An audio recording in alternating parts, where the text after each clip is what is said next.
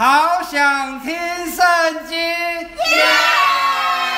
列王记下第十八章一到三十七节。以色列王以拉的儿子何西雅第三年，犹大王亚哈斯的儿子西西家登基。他登基的时候年二十五岁，在耶路撒冷做王二十九年。他母亲名叫雅比，是撒加利亚的女儿。西西家行耶和华眼中看为正的事，效法他祖大卫一切所行的。他废去秋坛，毁坏柱像，砍下木偶，打碎摩西所造的铜蛇。因为到那时以色列人仍向铜蛇烧香，西西家叫铜蛇为铜块。西西家倚靠耶和华以色列的神，在他前后的犹大列王中没有一个及他的，因为他专靠耶和华，从不离开。谨守耶和华所吩咐摩西的诫命，耶和华与他同在，他无论往何处去，尽都亨通。他背叛，不肯侍奉亚述王。西西家攻击非利士人，直到加萨，并加萨的四境，从瞭望楼到坚固城。西西家王第四年，就是以色列王以拉的儿子何西亚第七年，亚述王撒曼以色上来围困撒玛利亚，过了三年就攻取了城。西西家第六年，以色列王何西雅第九年，撒玛利亚被攻取了。亚述王将以色列人掳到亚述，把他们安置在哈腊与歌散的哈伯河边，并马代人的诚意，都因他们不听从耶和华他们神的话，违背他的约，就是耶和华仆人摩西吩咐他们所当守的。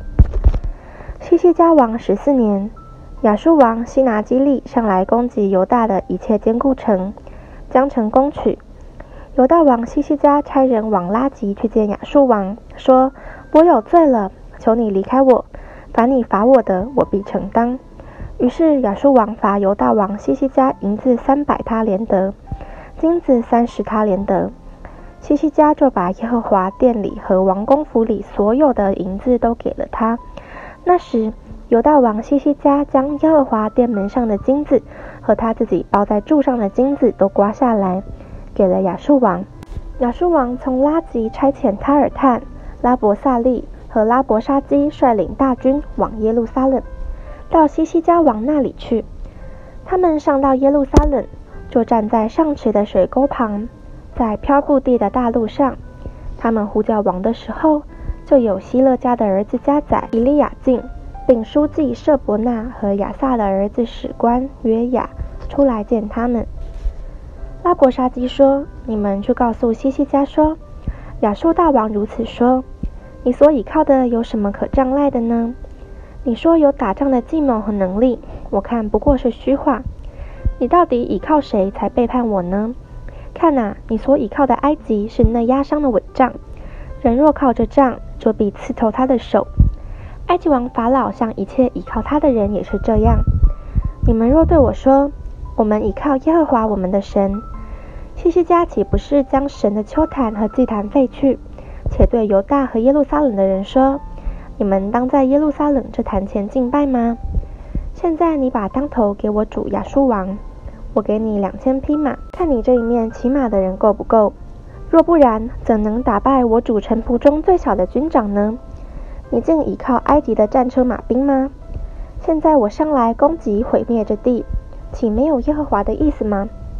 耶和华吩咐我说：“你上去攻击毁灭之地吧。”希勒家的儿子以利亚敬和舍伯纳并约雅对拉伯沙基说：“求你用亚兰言语和仆人说话，因为我们懂得；不要用犹大言语和我们说话，打到城上百姓的耳中。”拉伯沙基说：“我主差遣我来。”岂是单对你和你的主说这些话吗？不也是对这些坐在城上要与你们一同吃自己粪、喝自己尿的人说吗？于是拉伯沙基站着，用犹大言语大声喊说：“你们当听亚述大王的话。王如此说：你们不要被西西家欺哄了，因他不能救你们脱离我的手；也不要听西西家使你们倚靠耶和华，说耶和华必要拯救我们。”这城必不交在亚述王的手中。不要听西西家的话，因亚述王如此说：你们要与我和好，出来投降我，个人就可以吃自己葡萄树和无花果树的果子，喝自己井里的水。等我来领你们到一个地方，与你们本地一样，就是有五谷和新酒之地，有粮食和葡萄园之地，有橄榄树和蜂蜜之地，好使你们存活，不至于死。西西家劝导你们说：耶和华必拯救我们，你们不要听他的话。列国的神有哪一个救他本国脱离亚述王的手呢？哈马、雅尔拔的神在哪里呢？西法瓦因、西拿、以瓦的神在哪里呢？他们曾救撒玛利亚脱离我的手吗？这些国的神有谁曾救自己的国脱离我的手呢？难道耶和华能救耶路撒冷脱离我的手吗？百姓静默不言，并不回答一句，因为王曾吩咐说不要回答他。当下，希勒家的儿子加载、以利亚敬和书记舍伯纳，并亚萨的儿子史官约雅，都撕裂衣服来到西西家那里，将拉伯沙基的话告诉了他。阿门。列王记下第十九章一到三十七节。西西家王听见，就撕裂衣服，披上麻布，进了耶和华的殿，使加载、以利亚敬和书记舍伯纳。并祭司中的长老都披上麻布，去见亚摩斯的儿子先知以赛亚，对他说：“西西家如此说：今日是极难、责罚、凌辱的日子，就如妇人将要生产婴孩，却没有力量生产；或者耶和华你的神听见拉伯沙基的一切话，就是他主人亚述王打发他来辱骂永生神的话。耶和华你的神听见这话。”就发斥责，故此求你为余生的名扬声祷告。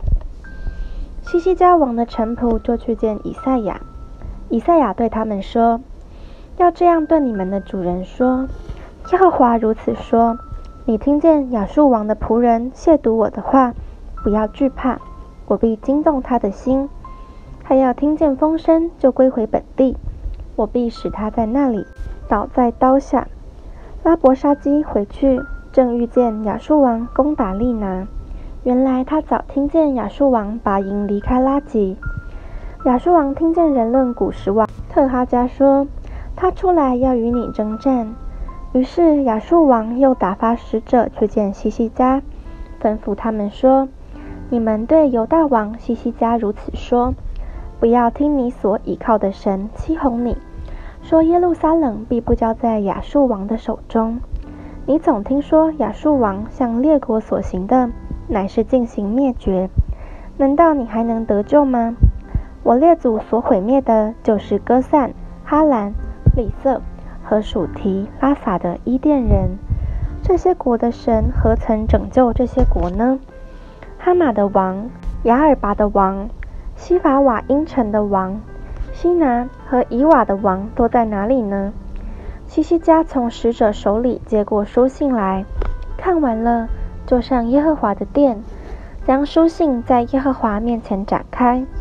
西西家向耶和华祷告说：“坐在二基路帕上，耶和华以色列的神啊，你是天下万国的神，你曾创造天地。耶和华呀，求你侧耳而听；耶和华呀，求你睁眼而看。”要听西拿基利打发使者来辱骂永生神的话。耶和华呀，亚述诸王果然使列国和列国之地变为荒凉，将列国的神像都扔在湖里，因为他本不是神，乃是人手所造的，是木头石头的，所以灭绝他。耶和华我们的神啊，现在求你救我们脱离亚述王的手。使天下万国都知道，唯独你耶和华是神。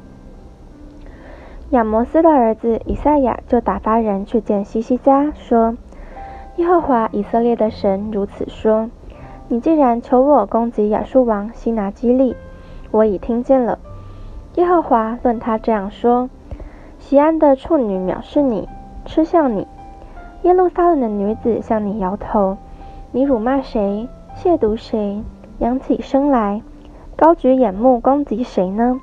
乃是攻击以色列的圣者。